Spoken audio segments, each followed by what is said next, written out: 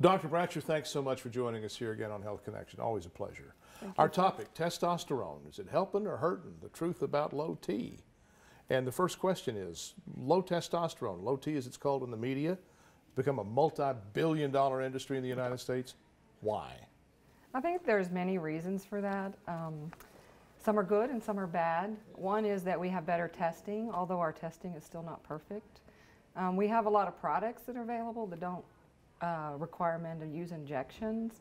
Of course, we have Big Pharma that makes products and wants to sell things, so they do direct-to-consumer advertising. I think that's brought the awareness up, which is good, but then it may stimulate people to uh, ask about it that may not need it. Um, I think it's human nature. People want to feel better and um, look better.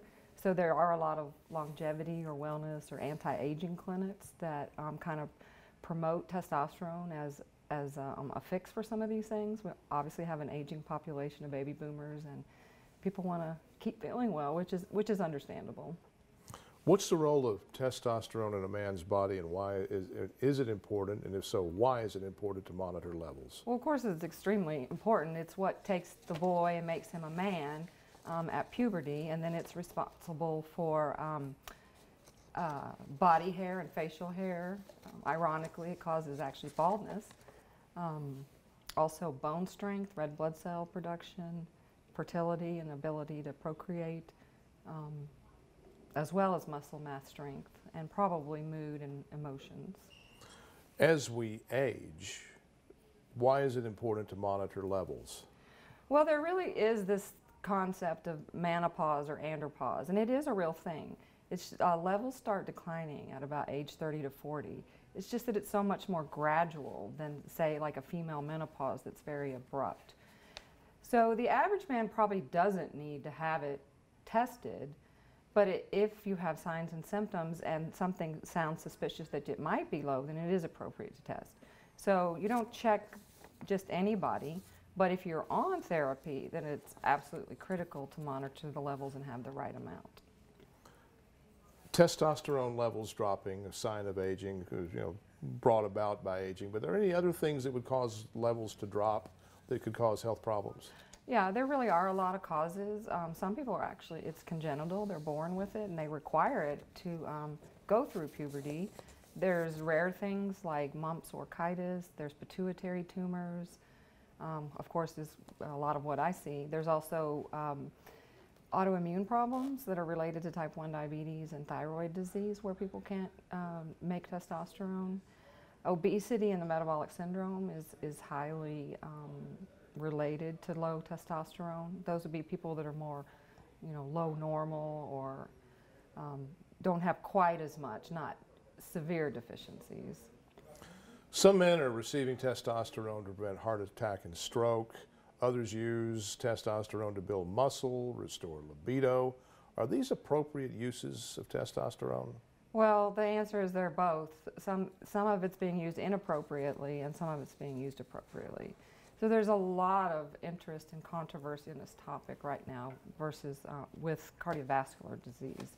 Um, they there are many, many studies that show that uh, testosterone replacement reduces mortality and reduces heart disease. But then there's some more recent ones that show that it might lead to more heart disease. And it boils down to what if you're using it appropriately and at the right dosages rather than using it indiscriminately in the wrong patient. And it really kind of parallels what happened in the women's um, hormone replacement movement. You know, it's good, then it's bad, then it's, oh, maybe we need to really weigh the risk and benefits and use it in the most appropriate person. Testosterone levels easily monitored through a blood test, but are there symptoms that somebody might notice that might tell you that your testosterone levels are getting low? Yeah, the symptoms would be uh, less energy. Um, the actual um, sexual desire or libido is much more specific for low testosterone than the ability or performance. Um, but people, uh, men might notice less spontaneous erections. They may have sleep disturbances, some moodiness, um, but uh, uh, increase in, in girth in the middle, more fat mass than lean mass. We get mixed information from the media about testosterone. Some say that, some of the reports say that testosterone replacement helps. Some say it can cause problems, even death. Where in all of that does the truth lie? It's, uh, you know, obviously it's going to be in the middle somewhere. If you use testosterone in the wrong person or you use too much, you can cause problems. Um, there, just as estrogen has, has a risk of thrombotic effects in women, testosterone has been associated with that in men. Um, it makes red blood cells, so you can make your blood too thick, which would obviously be not a good thing for heart or stroke. Um, when there is a decreased libido and there is decreased muscle mass and symptoms and documented clearly low levels, then it could be very appropriate to use it and replace it. I think you just touched on this. There's a large black market in the U.S. for testosterone. It is sold in, in, in some uh, shady places. And men, especially those who are into bodybuilding, buy the drug illegally. What's the risk of using this drug outside of a physician's supervision? Well, I just call that Russian roulette because there is no way for you to know what's actually in that injectable medicine that you're ordering, let alone that you're getting the dose that you've been told you've been sold. So those can cause um, infertility, sterility, your testes can shrink, um, the excess testosterone can get worse worsen sleep apnea. Um, it could cause uh, benign prostatic hypertrophy. Let's say there's an underlying prostate cancer, it could promote growth. I believe most endocrinologists and uh, physicians don't believe that it causes prostate cancer, but it certainly will promote it if it's already there. When we are under physician's care, when we are replacing testosterone, are we trying to replace it to the levels when we were 20, or are we trying to replace it to the levels that are appropriate for our current age? Appropriate for age. You have it right, hit the nail on the head. Um, the range is very wide, and like I said earlier, testing has gotten better, but testing isn't perfect. And then testosterone is, is a fluctuant hormone. It's, it's different at different times of the day. So we want to do it age appropriate, but the level is so wide that human nature, men see, oh, well, maybe I should get it into the higher range of normal. But in the case of hormones, more is never necessarily better. I mean, it's, it's really easy to understand that with something like insulin. You know, if you have too much, you're going to have a problem. You know, if you have too little, you have a problem. Well, it, it's the same way with any hormone, including sex hormones like testosterone. Testosterone replacement comes in more than one form. It's injectable, there are gels. Why the difference in the delivery and should, when should one be used over the other?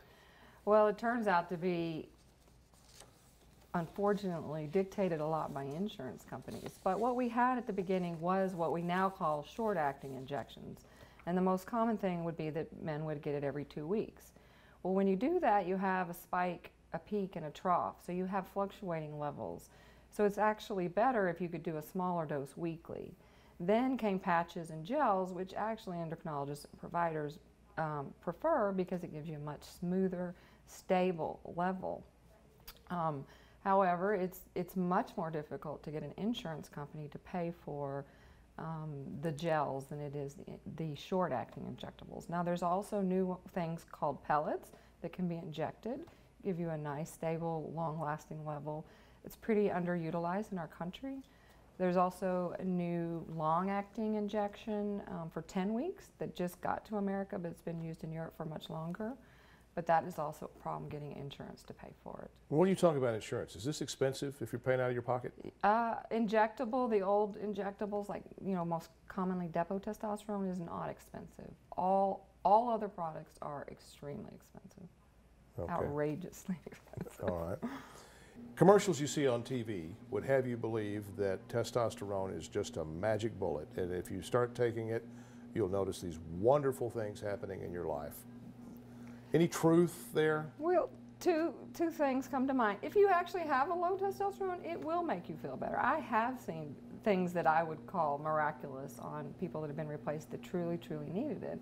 The other thing you have is, is a placebo effect. And I'm not discounting placebo effect. I believe in the placebo effect of a lot of things. But if you think you feel better and your level's a little bit higher, you probably do feel better. So it is not um, the holy grail of uh, you know aging for males, but it can be substantially um, helpful in the right person. Over the counter though, should, what about that? Uh, over the counter, they're probably not actual testosterone. You can't take testosterone orally because it will um, hurt the liver. Um, so what you're usually taking over the counter are things that try to boost it or maybe prevent um, its aromatization into estrogen, um, which can cause, you know, that's one of the side effects is gynecomastia if you're taking too much um, testosterone. So, but that, but supplements are not regulated, so we have no way of knowing what's in those. If during a physician visit or an annual physical, for example, low tes- testosterone is detected, what's the next step? Uh, the next step is always to repeat it because the guidelines really suggest that you should have two readings before you call it because we discussed how it does fluctuate. And we, what we like to do is have people test it in the morning where we can compare it to the ranges. It is usually higher in the morning. So if, I, if you get measured in the afternoon, it might look low, but if you get it measured in the morning, it might not be that abnormal. So you always want to retest it, confirm it, then look for um, probable causes or um, things that might be causing it so that you might be able to fix those things. And then if you have symptoms and you have a low and you discuss the risks and benefits, um, then it might be appropriate to replace it. Very well, doctor. Thank you very much. You're welcome.